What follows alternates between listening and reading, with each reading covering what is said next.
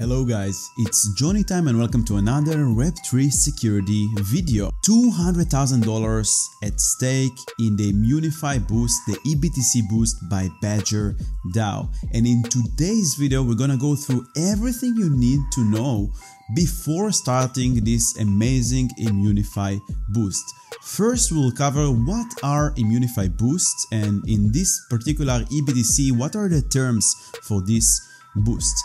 Then we will go through a high level overview of the eBTC protocol so you understand everything that you need to know before getting started with the boost. We will go through every main smart contract of the protocol and understand its purpose. We will check the previous audits that conducted to eBTC protocol and we will see which issues were reported and fixed. Now I highly recommend you to stick till the end of this video because I'm gonna share with you some potential attack vectors that I think might be interesting and also some pro tips and ideas to get started with this eBTC boost.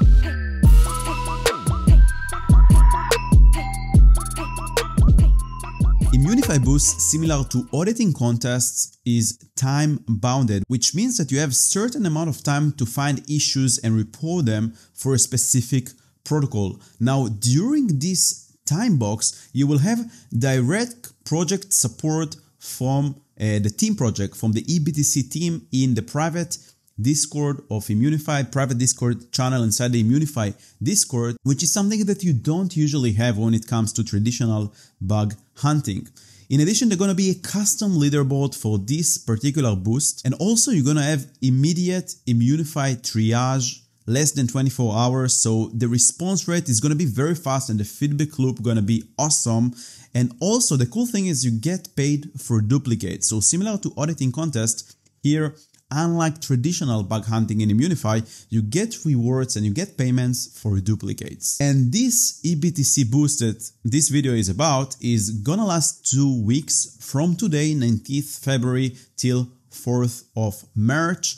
The scope is around 5,000 lines of Solidity code and the reward pot is gonna be as follows. If a critical vulnerability is found within the codebase, then the rewards gonna be $200,000. If a high was found, then the rewards will be $100,000. And if there are no highs and criticals found in the repository, then they're gonna be 50k dollars in rewards. And now we're gonna go through the eBTC protocol overview so you have some kind of starting point to start with this Immunefi boost and I'm sure it's gonna simplify things for you. So this is the eBTC Twitter account and eBTC lives on the Ethereum network. It's Bitcoin on Ethereum similar to WBTC wrapped BTC.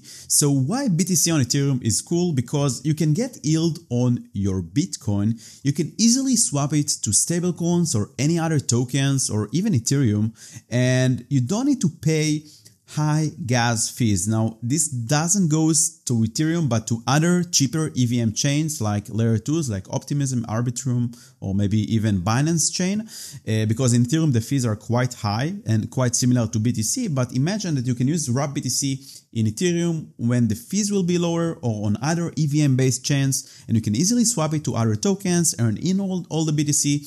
So wrap BTC and in general BTC on Ethereum is cool. So you probably heard about wrap BTC. wrap BTC is quite centralized because we have an allow list of certain actors that can deposit and withdraw Bitcoin to Wrap Bitcoin, right? You can see here, this is from the Wrap BTC website. I will put all the links in the description below so you can see it yourself. We have on the network, which means on uh, Ethereum ERC20 tokens, we have around 157k Wrap BTC. And also we have Bitcoin, real native Bitcoin held in custody, the same amount of Bitcoin. And you can see here all these actors, Wintermute, Hashab, Wintermute, Tokalabs, they can, uh, using probably the Wrap BTC uh, API to deposit Bitcoin and mint Wrap BTC or redeem Wrap BTC, right? To burn. You can see here this burn mark that Wintermute burned 872 Wrap BTC and received BTC. So it's pretty centralized, right? We have this entity, Wrap BTC, that allows other actors to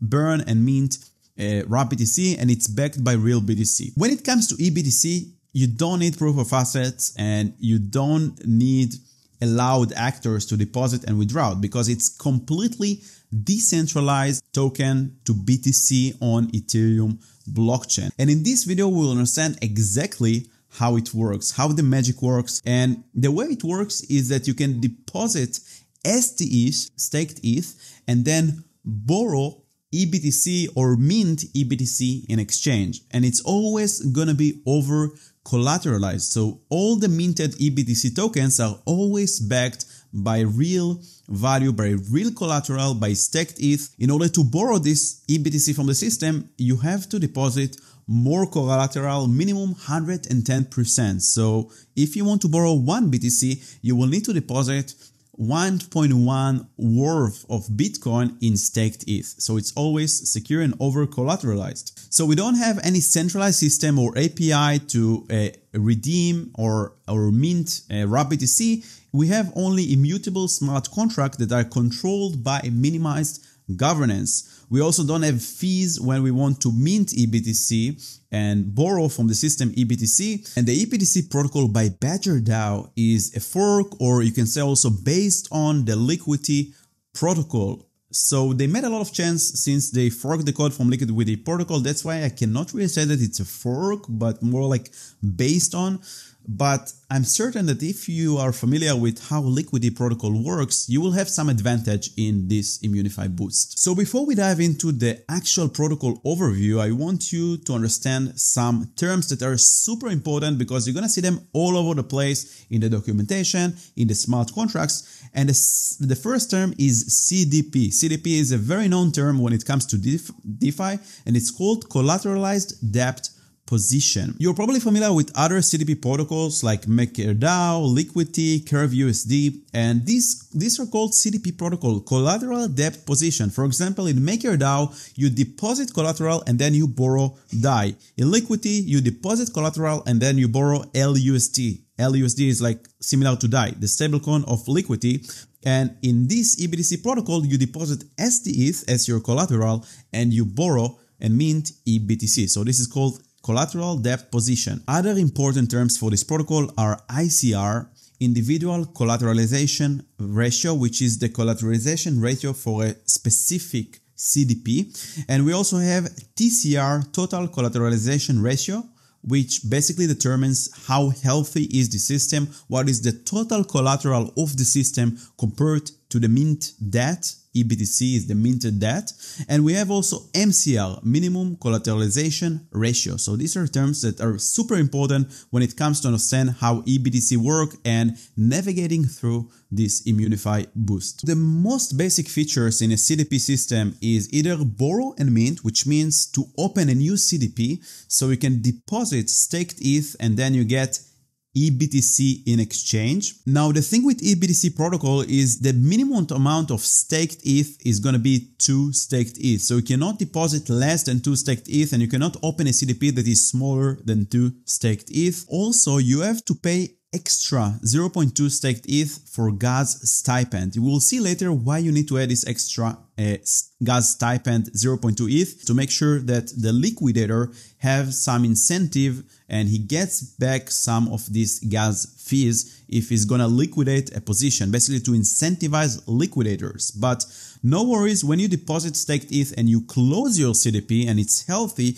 you're gonna pay get paid back this 0.2 stake ETH that you deposit in, in addition to the original amount. And then you can always redeem and burn your EBTC. So you can come to the system back and then you can give back your EBTC to the system and get back your collateral in staked ETH. Now you can do full repayment, which means that your CDP, your collateral debt position is getting closed, or you can also partially pay your debt to make your position healthier so you will have less debt compared to your collateral. So these are the main mechanism to make sure that the peg and the system health system, the health in the system is stable. Now, the best way to understand the system, in my opinion, is take a look at the UX. And this is some screenshots from the front end of the testnet eBTC. And here you can see this is how you can open a new CDP. You can specify how many staked ETH you want to deposit. Again, minimum two. You cannot deposit less than two. You can also choose your collateralization ratio, which means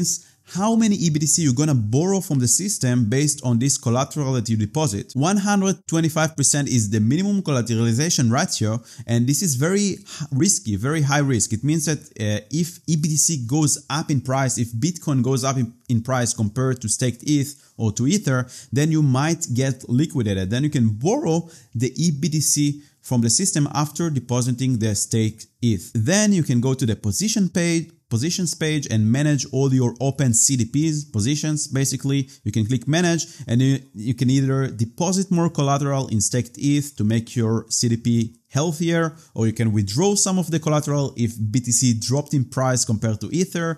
And you can also go to the debt tab. You can pay back some of your EBTC or borrow more EBTC compared to the collateral that you deposited. So it's pretty simple. It's quite similar to lending protocols, right? Because you can deposit collateral and borrow another token, but the difference here that it's actually mints the token for you. This is why it's called CDP, collateral deposition, and it's quite more similar to MakerDAO and DAI. Now, the thing with CDP is that they usually need to have some kind of Oracle system that will provide a price feed because at any point of time, they need to know what is the price of a Bitcoin and what is the price of ETH to know the ratio between them so they can measure like what is your collateral compared to your debt.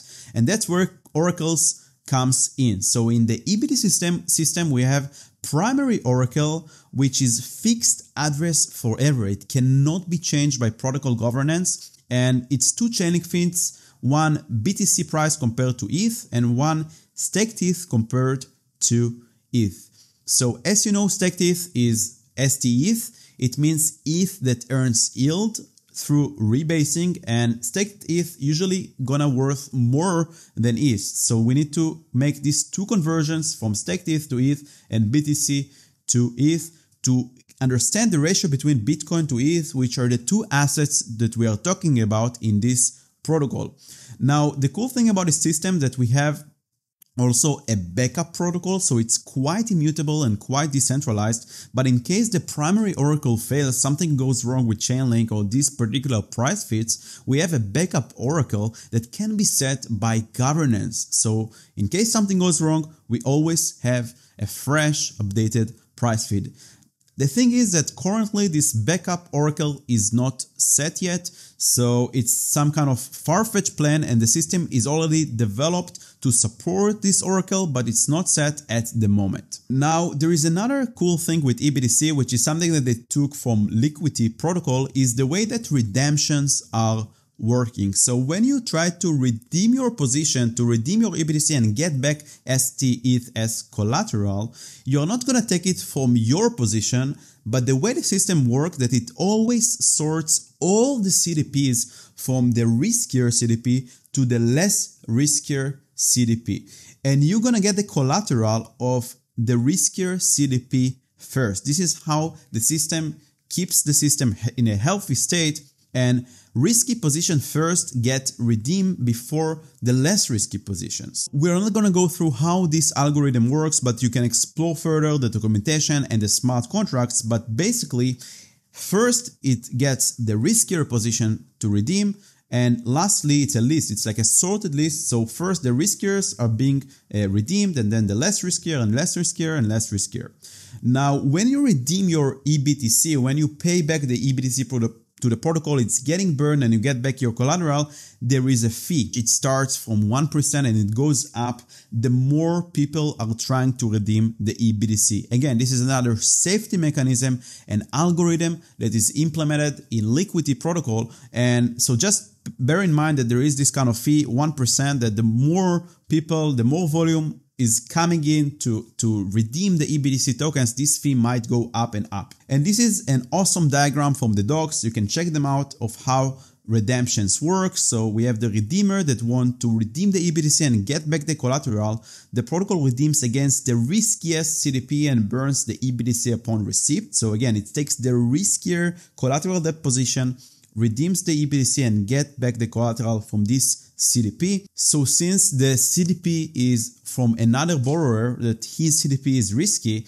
and now the question that we want to ask is what happens to his collateral and to his debt? So the borrower with this riskier CDP returns the EBTC. He still has the debt, he still has the EBTC, and any leftover collateral. So some of the collateral might pay it back to this kind of Alice, whatever redeemer, and some of it is left in the original CDP, the risky CDP, probably might be redeemed later because it might be still risky.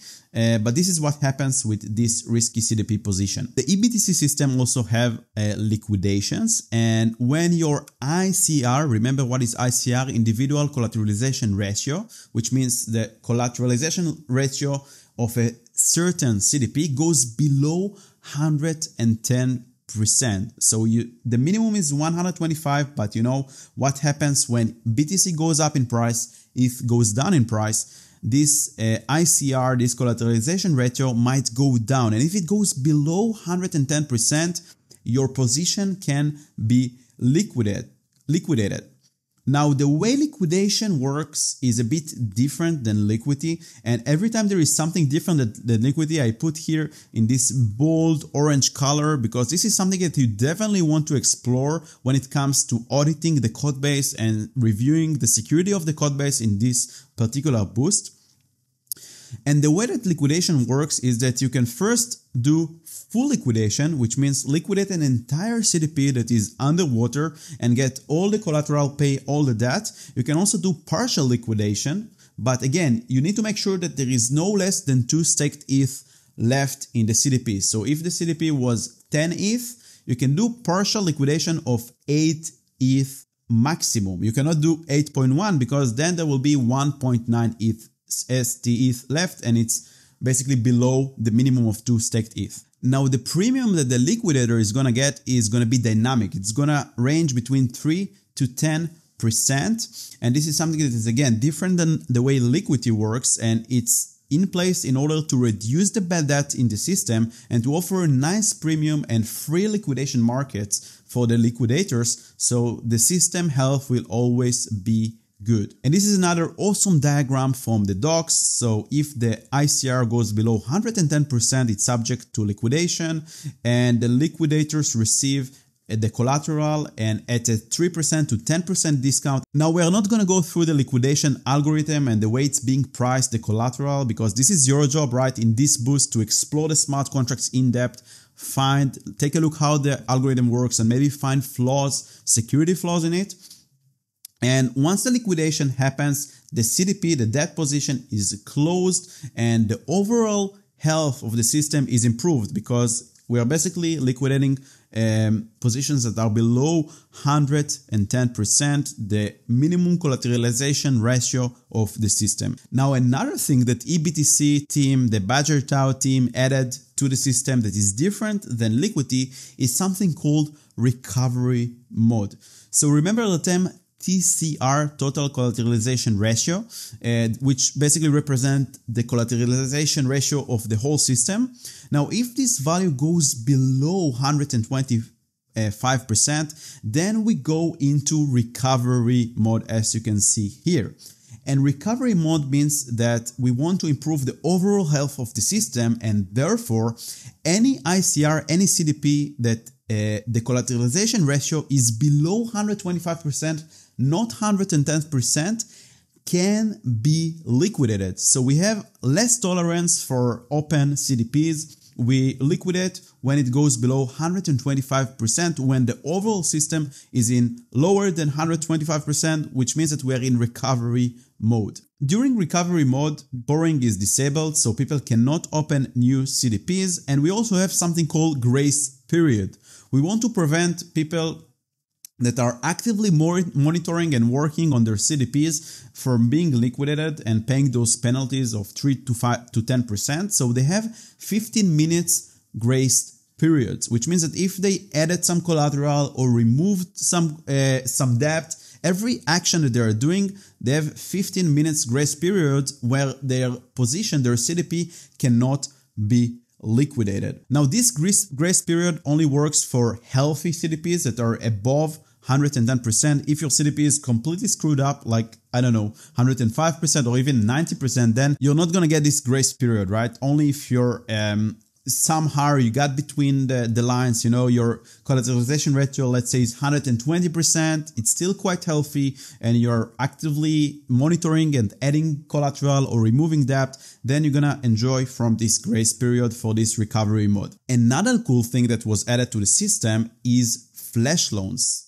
Flash loans are great to do leverage, to do atomic liquidations, and EBTC team added ERC 3156 compat- compatibility, which is the flash loan standard uh, for flash loans, and you can both flash borrow staked ETH, which means that all the collateral that is deposited in the system, all the staked ETH is available for users to take. It could be hundred millions of dollars or maybe even billions of dollars, depends on the TVL of the system as soon as you pay it back on the same transaction with some kind of fee.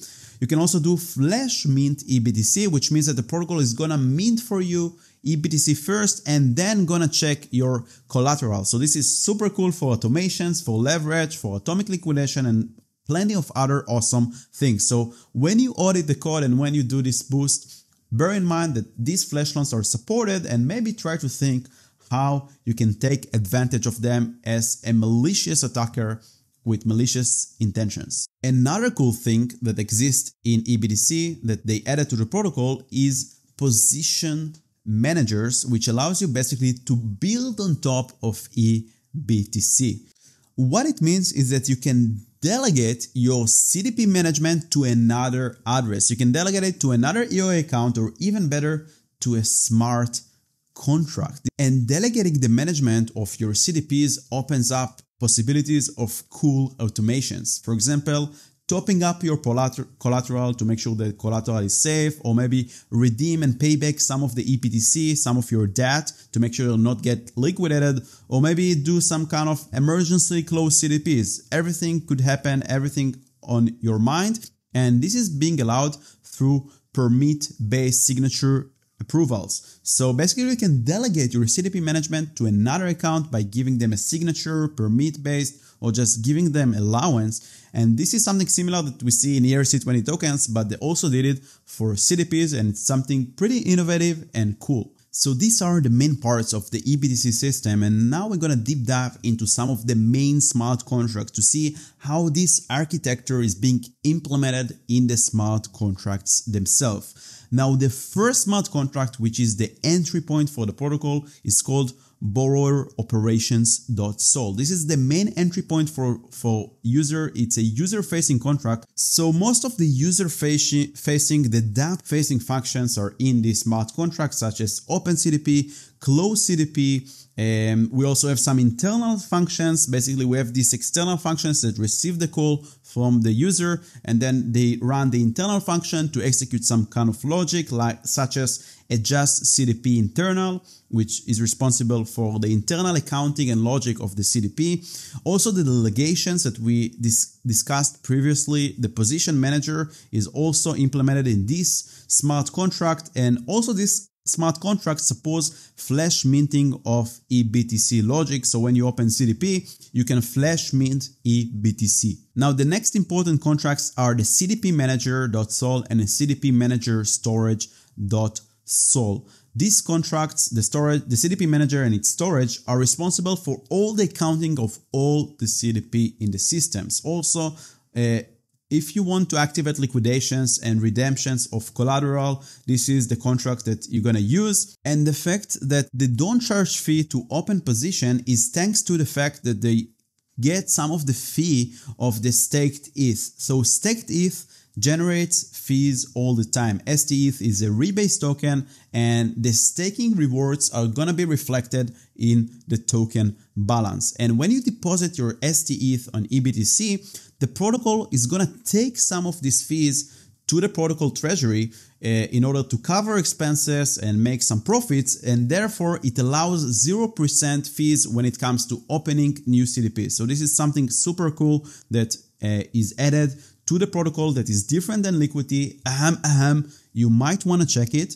And also the recovery mode and the grace period, all the implementation, the logic, when it's going to get into recovery mode. In the grace period enforcement is happening in those uh, CDP manager contracts. Now, the CDP manager contract is using the liquidation library and the liquidation sequencers, which brings me to the next topic, which is the liquidation contract. So we have liquidation library.sol, we have liquidation sequencer. All the liquidation logic gonna go into this contract. We also have this contract that is called synced liquidation sequencer uh, that basically allows user to do batch liquidation. So if there are multiple positions that are under collateralized, you can liquidate all of them in one transaction, which is super cool to save transaction fees and save some gas. And remember that we said that upon redemption, the CDPs are sorted by from less riskier to the most riskier well, this is a smart contract that is responsible for that. The sorted CDPs.sol. You can dive deeper into this smart contract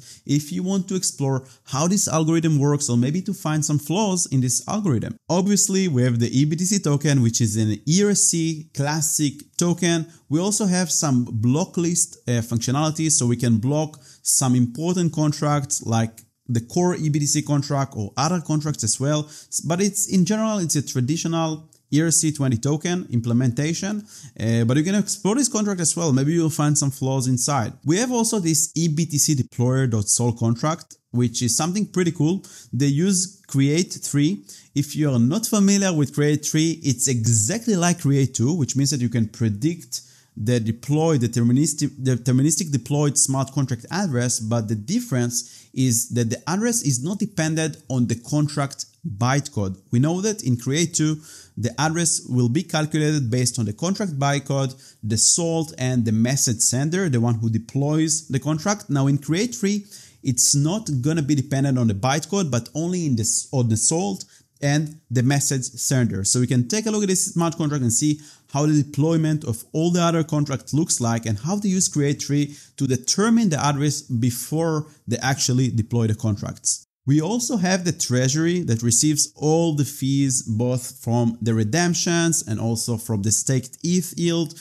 Now we have this smart contract called fee recipient, which is a simple smart contract that's going to receive ERC20 tokens and the owner can come at any point of time. Probably the owner is going to be a multi-sig wallet or an MCP that can sweep all the tokens to his whatever address to pay for devs or marketing or whatever. So this is how the treasury is working and how the fees are being collected. Now remember the phrase, show me the money. Where is the money being held? Right here, activepool.sol. The activepool.sol smart contract holds all the STETH collateral, all the liquidity of the STETH that was deposited into the system in order to mint EBTC tokens. Uh, also the state of the debt, the total debt, total EBTC tokens that were minted is being stored in this smart contract. And also, if you want to make flash loans and get all the collateral for a fraction of second in an atomic transaction, this is the entry point and this is the smart contract that you're going to work with. This is the STETH flash loan logic is right there. We also have this smart contract that holds some of the STETH collateral in some edge cases where a CDP is being liquidated or redeemed and there is a leftover of the collateral. Remember we talked about this scenario earlier? So this smart contract is gonna hold this remaining collateral that wasn't redeemed or liquidated so the owner can come the owner of this cdp can come and claim it. So once uh, a cdp is being redeemed or liquidated the collateral is moving from the active pool to the coll surplus pool. And of course we have the price feeds to fetch the ebtc the btc sorry price and the staked eth to eth price. And we use chainlink oracles this is the file pricefeed.sol that you can explore. We have also second, secondary fallback oracles that are not used at the moment, but the logic of the secondary fallback is already implemented in the pricefeed.sol. This is also in scope, so you can check this smart contract and understand if there are flaws in the fallback mechanism, in the primary oracle or the secondary oracle. And we also have the governance contract. So we have the governor.sol So again, you can go to the smart contracts and deep dive on how they work. There are a lot of useful comments along the contracts, along the functions, so I'm sure it will be quite easy for you to navigate. This is a high level overview of the system and the main contracts, so you get a good starting point. But obviously, we're not gonna dive into every single smart contract. And we have some helper contracts, of course. So we have hint helpers, we have multi CDP getter and CLLens. Some of these contracts are for invariant testing, some of them are general helpers, some of them from the front end. So these are just some of the helper contracts. This is the repo. We covered most of the contracts that you can see over here, the CDP manager, the CDP manager storage, you know, the deployer, the, the CLLens. Most of the smart contracts were covered and now you have a very good first idea about this repository. Now the fun part starts. We're gonna discuss some previous audits that were conducted to the protocol, potential issues and pro tips and ideas. So let's start with previous audits. As you can see, BadgerDAO and eBTC taking security very, very seriously.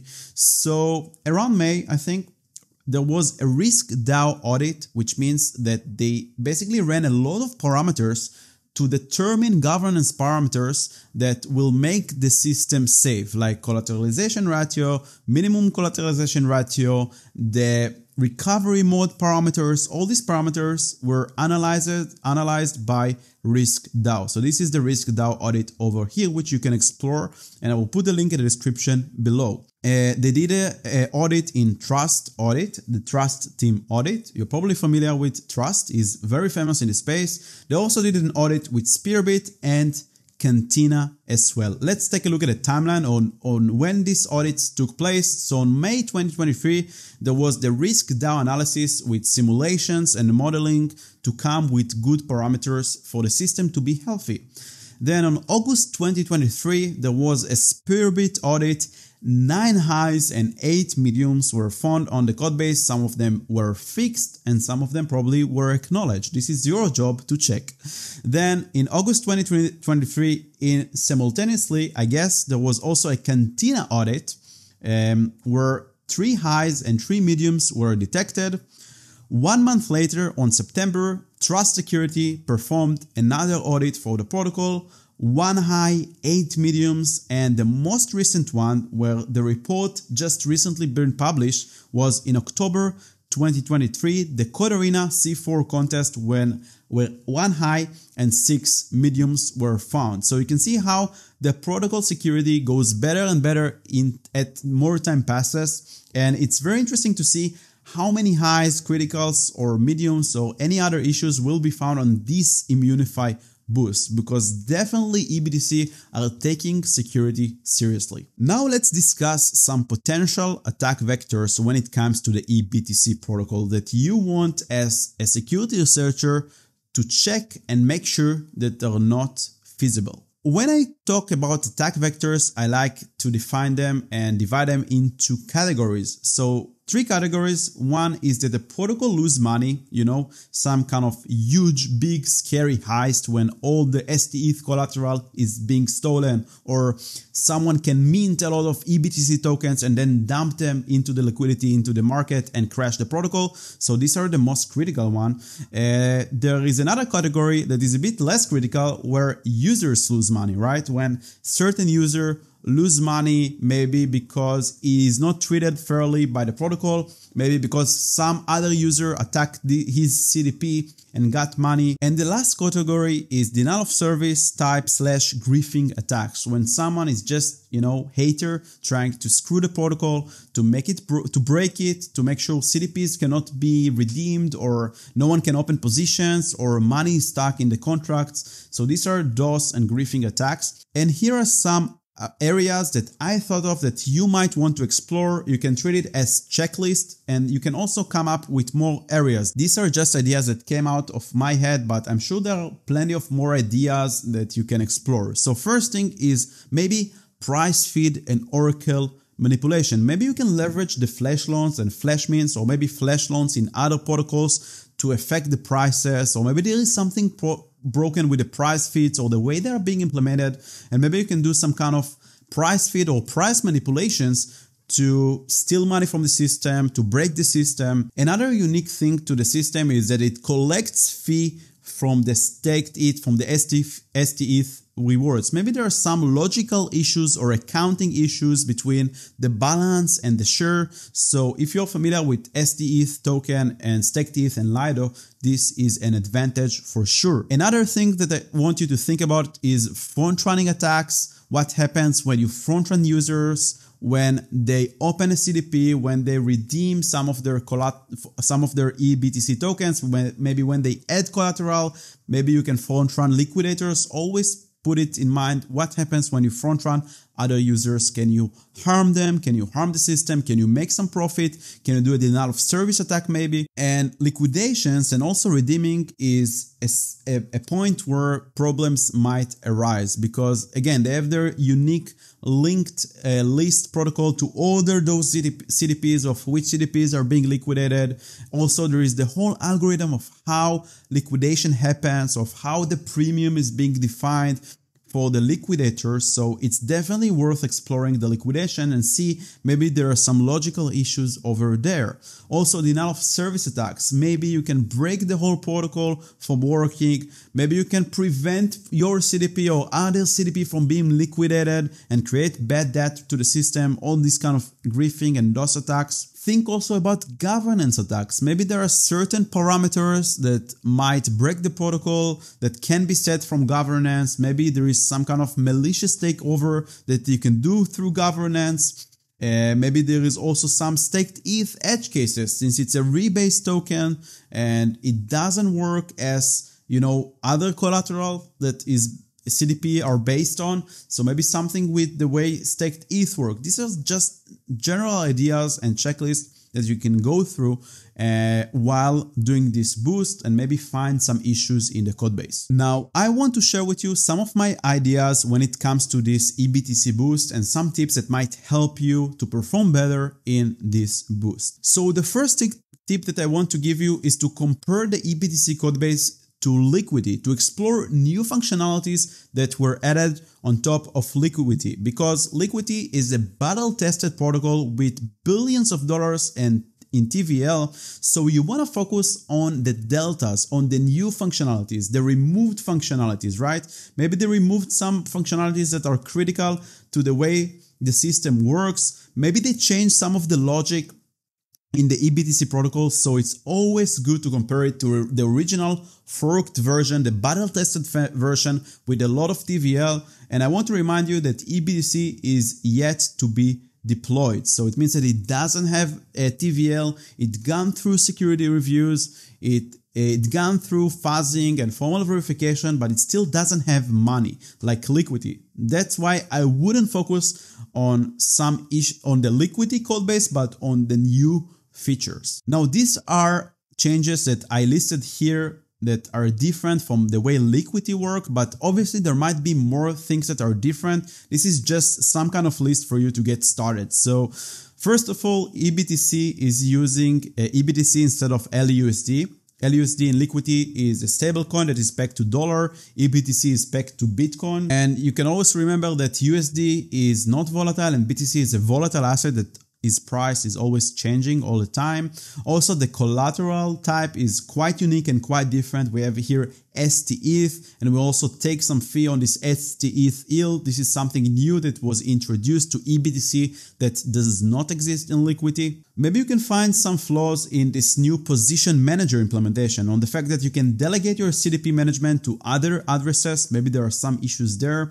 Also, the fact that the liquidation, the way liquidation works and that the premium that the liquidators are getting is dynamic and can be changed between 3 to 10%. This is also something unique and something new. This whole recovery mode where all the system gets into recovery mode and there is also the grace period. Maybe you can somehow exploit the system when it's in recovery mode. Maybe uh, you can do it in out of service and always be in grace period and prevent from being liquidated. You know, these are just some ideas that pop into my head. And I want you to adopt your attacker mindset and take a look at all these new functionalities and try to think how you can break them and take advantage of them. Also, the fact that they allow flash loans and flash mints make sure that the flash loan implementation is being implemented properly. Maybe you can do a flash loan and do some kind of callback on re-enter callback, open a new CDP with it. I don't know, with mess up with the accounting, you know. So try to think of all the possible states that the system can go through and all of the edge cases and how you can leverage every part of the system, flash mints flash loans, liquidations to basically break it, right? This is your goal here during these two weeks to break the eBTC system, find as many vulnerabilities so they can be fixed and malicious actors will not exploit them once the protocol is deployed. Another thing that I recommend you to do is obviously check the previous security reports. All the reports that were mentioned, you know, Trust, Spearbit, Cantina, and obviously the Code4rena contest. And I highly recommend you to start with the Code4rena contest because this is the most recent one, the most updated one. Probably most of the issues already been fixed, but you want to get the most fresh point of view on the protocol, on the issues that it has. So definitely check out the most recent Code4rena report, which is already published in the Code4rena website. Now, for every issue that you see in the protocol, check if they fix it. You know, maybe they claim that they fix it, but they forgot because there are plenty of issues and you know, developers tend to make mistakes so maybe somewhere somewhere between the lines there was an issue that wasn't fixed maybe they didn't fix it properly or maybe by fixing the issue they up they opened another security vulnerability. So you definitely want to check every one of these raised issues and see if it was fixed properly, do some kind of mitigation review to make sure that everything is correct. And if not, you want to report it. So these are some known issues from Liquity that are probably going to be out of scope. We also have all the previous audit that you can check out both in the description of this video or also in other resources that I will give you at the end of this video. And we all obviously have the most recent C4 contest. You can head over to Code4rena. Again, I will put the link in the description below and check the report for the most recent eBTC Badger DAO audit. And another thing that I recommend you to do is go through the recent pull request. The recent pull request in the eBTC repository contains all the new features and the fixes that were fixed from the recent audit in Code4rena. So you can see all the new commits, all the new pushed code to the repository, and I want you to go through every single one of them and make sure that there are no new vulnerabilities introduced. Uh, you can also use a checklist of vulnerabilities. You can go back to this list before the changes from Liquity and also the areas to explore and check for every single commit. Maybe this one of these checklist is happening. Maybe you can do liquidations manipulation. Maybe you can front run users. Maybe you can break the protocol somehow. Do a denial of service attack. So always bear in mind all the state of the protocol and check every single commit, every single new line of code that was introduced to the protocol. And the most recent update is the most recent release 0.7 and they changed some stuff, not only fixed some of the stuff that they changed is in order to fix some issues that were raised from the previous security reviews, but some of them are just new features. For example, the way oracles worked changed, so you wanna check that out. Also, there were some uh, rounding issues with small amounts in edge cases that they fixed this code, these issues. They introduced some kind of new, twa- new TWAP time weighted average price oracle to prevent flash loan attacks. And also they created two time locks. One is high sec and one is low sec for two types of operations that are more sensitive and less sensitive. And a pro tip from me to you, go to every commit, to every discussion, to the discussion of the pull request, to the discussion of the commits, to all the discussions that exist there, that you can see discussions of the issues in the Code4rena report, all these discussions between the wardens to the protocol developers to the team, and read them. Read through them, see how they thought, how the warden thought, how the developer thought and try to think flaws in those discussions, in those new commits, in those new features, and this is where you might find some new issues in my opinion. Now, this is a huge protocol, around 5000 lines of code, that's why you have plenty of time to go through it slowly and work and find those issues. And obviously in this video, we cannot cover everything and go through every single line of code and every smart contract. The idea of this video is to help you get started, to give you a high level overview of what is eBTC and what is this boost about. And if you want to dive deeper, these are some awesome resources that you can check out. I will put all the links in the description below. First of all, obviously, the documentation of eBTC, everything is explained here. We also have this amazing session with the team the audit workshop from Code4rena that was pre the Code4rena contest. So it's like a one hour session. They have also part two and part three. So you can definitely check it out. There is this awesome markdown file eBTC cheat sheet that links to all the resources, to the non issues, to the docs, to everything you might need. So basically, I will just send you to this awesome cheat sheet um, by Alex the Entreprenerd. And we also have this awesome playlist that gives you a good overview of how BTC works, eBTC works, a bit more in dive than this video. So if you want to dive deeper to every system, how liquidations work, how the invariant testing works, how to run them, you know, to the dApp, how the dApp work, the smart contracts, definitely check out this playlist by um, by eBTC by Alex the Entreprenerd. Amazing playlist. And of course, the most recent release, the most recent PR, I will leave a link in the description below as well, where you can see all the features and fixes and the PRs that were added, everything, all the commits. You can see everything aggregated here. This is something that you definitely want to check out. Now let's summarize what we had today. First, we covered what are Immunefi boosts and what is this particular eBTC boost is about. We've been through high level protocol overview. We covered all the ins and outs of the protocol.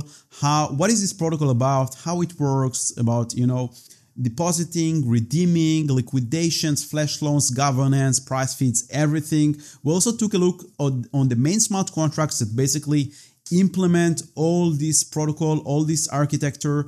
What are the smart contracts that behind it? We took a look on all the file names. What are they responsible for? We also explored some previous audits and we saw how many issues and the timeline of all these audits. We discussed some potential attack vectors and areas that you want to explore in this boost. And I gave you some tips and ideas that for sure gonna help you to get started with this boost. Thank you so much for watching this video, for learning with me about eBTC and about the current code base and the boost and I wish you the best of luck in this Immunefi boost.